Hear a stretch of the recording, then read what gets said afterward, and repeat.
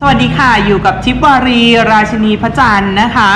ในครั้งนี้เราก็จะมาทำนายดวงชะตาประจำสัปดาห์กันค่ะ ตั้งแต่วันที่ 1 ถึง 7 กันยายน พุทธศักราช 2562 นะคะ ครั้งนี้ก็จะเป็นการดูดวงนะคะของของชาวราศีเมถุนค่ะ ชาวราศีเมถุนก็คือผู้ที่มีลัคนาสถิตอยู่ที่ราศีเมถุน หรือผู้ที่เกิดตั้งแต่ วันที่ 14 มิถุนายนไปจนถึงวันที่ 14 กรกฎาคมนะคะ เราเข้าเรื่องกันเลยว่าไพ่ใบแรกจะมาได้เดอะสเตรนนะคะเป็นหญิงสาวที่ง้างปากสิงโตนะคะไพ่ใบเนี้ยจะบอกว่าคุณเป็นผู้หญิงเก่งนะคะ ต้องเป็นลักษณะของผู้หญิงที่แข็งแกร่งอดทนบึกบึนนะคะแล้วก็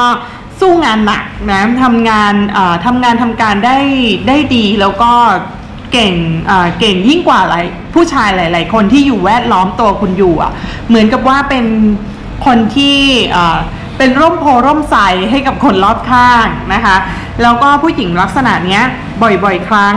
นะคะ ก็โสดหรือไม่บ่อยๆ ครั้งนะคะ ก็ จะเป็นจะต่อให้ไม่โสดเนี่ยก็เป็นผู้นำครอบครัวนะคะเป็นผู้ที่คิดทำดำเนินการอะไรต่ออะไรเนี่ยผลักดันไปเพื่อคนรอบข้าง รอบๆตัวนะคะเอาอีกนี่อันนี้ก็เก่งไม่แพ้กันนะคะก็มักจะเป็นผู้หญิงที่เป็นเศรษฐีนีนะเก้าเหรียญนะคะบ่อยๆ ครั้งเนี่ยถ้าเกิดว่าเก้าเหรียญขึ้นนะคะก็ จะเป็นเรื่องของผู้หญิงที่มั่งคั่งไปด้วยทรัพย์สินเงินทอง แต่ก็ในหน้าไพ่เนี่ยยืนอยู่คนเดียวนะคะ คุยกับนกนะไม่ได้คุยกับผู้ชายนะเพราะฉะนั้นเนี่ยเรื่องของเงินทองความอ่าสำคัญกับเรื่องสำคัญกว่าเรื่องความรักนะสำหรับเจ้าชะตานะคะ ราศีเมถุนในตอนนี้นะคะ หากเจ้าชะตาเป็นผู้ชายก็บอกว่าในช่วงรอบสัปดาห์นี้คุณจะต้อง ยอมผู้หญิงนะ ต้องยอมอสุภาพสตรีนะคะ เพราะจะเสียเปรียบ ถ้าเกิดว่ามีการทุ่มเถียงทะเลาะเบาะแว้นะคะ หรืออมีการดีลงานอะไรต่างๆเนี่ยถ้าหากว่าไม่ยอมตัวเองนั่นแหละจะเสียเปรียบนะคะอาจจะมีเจ้านายผู้หญิงเนาะอาจจะได้ไปปะทะหรือเผชิญกับผู้หญิงที่มีลักษณะแบบนี้นะคะ ทีนี้ Wheel of Fortune ขึ้นข้างบนนะคะ ก็ หลาย ๆ อย่างเนี่ยมันเกี่ยวข้องกันกับ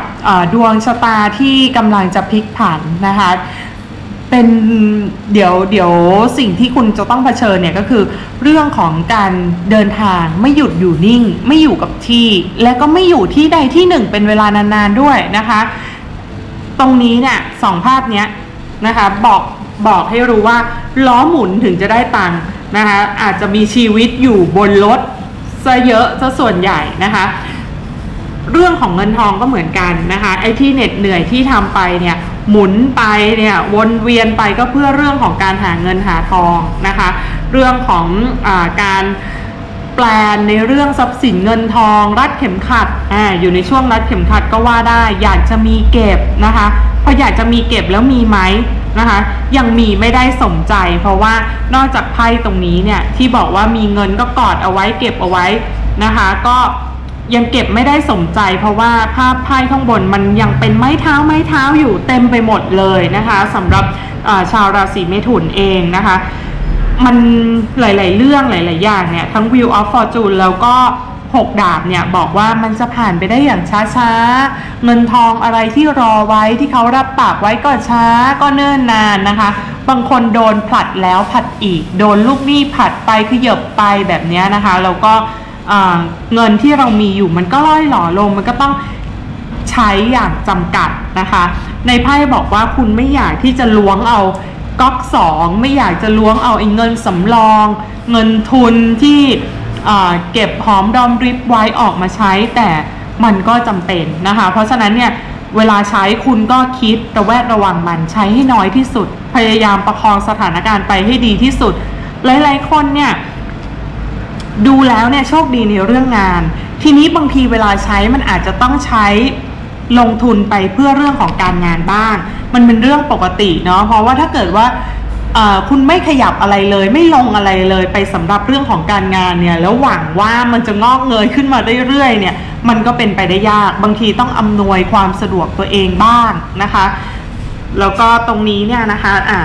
มันขึ้นในเรื่องอเรื่องราวของความรักเมื่อกี้อ้นดูภาพทั้ง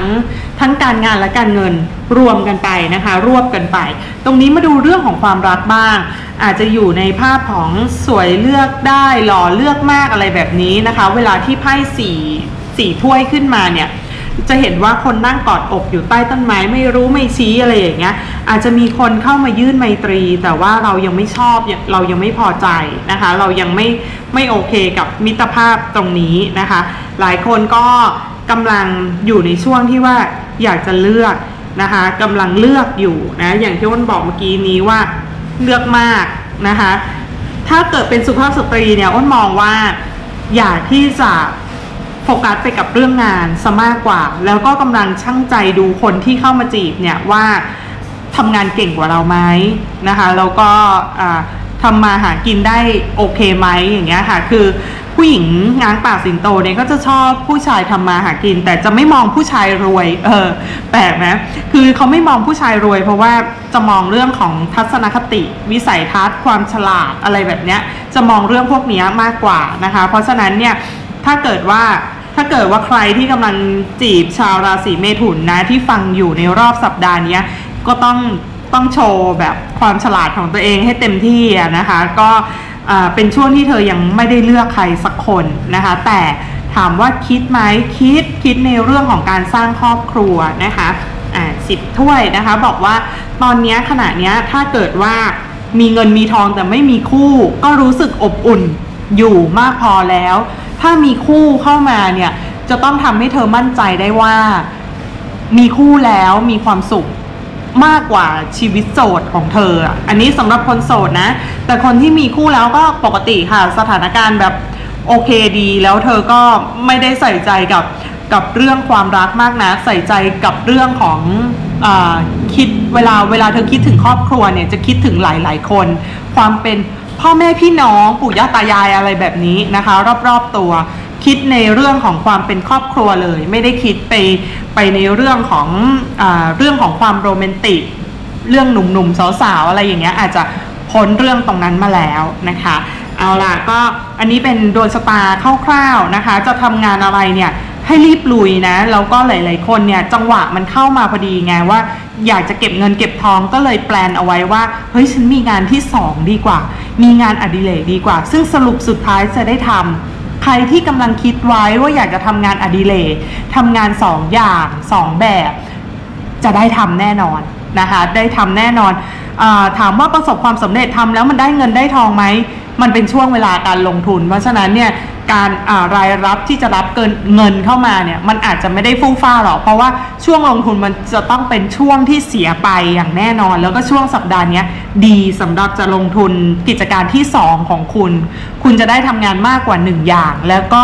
แน่นอนว่าจะมีรายได้เพิ่มขึ้นรายได้เข้ามาหลายทางในอนาคตนะคะ ขอให้สู้แล้วก็ลุยไปก่อนนะค่ะก็จบไปแล้วนะคะสำหรับ ดวงชะตาของชาวราศีเมถุนในรอบสัปดาห์นี้นะคะ ใครที่สนใจนะคะจะฟังการทำนายดวงนะคะ แบบนี้เนี่ยเรื่อยๆเนี่ยก็กดติดตามมาไว้ที่ช anel ตำหนักดวงค่ะ หรือว่าจะไปพูดคุยกันได้นะคะ ที่เพจค่ะ มีเพจชื่อว่าทิพวารี ราชินีพระจันทร์เอาไว้อ่า อัปเดตข่าวสารข้อมูลกันนะคะ ส่งถึงกันแล้วก็ใครที่อยากจะดูดวงส่วนตัวนะคะ ก็ไปที่ ID Line Emmy Beauty ได้นะคะ มีค่าครูกันเล็กน้อยนะคะ สอบถามค่าครูกันได้ที่ ID Line นั้นนะคะ ขอให้ชาวราศีเมถุนทุกท่านโชคดีและมีความสุข สวัสดีค่ะ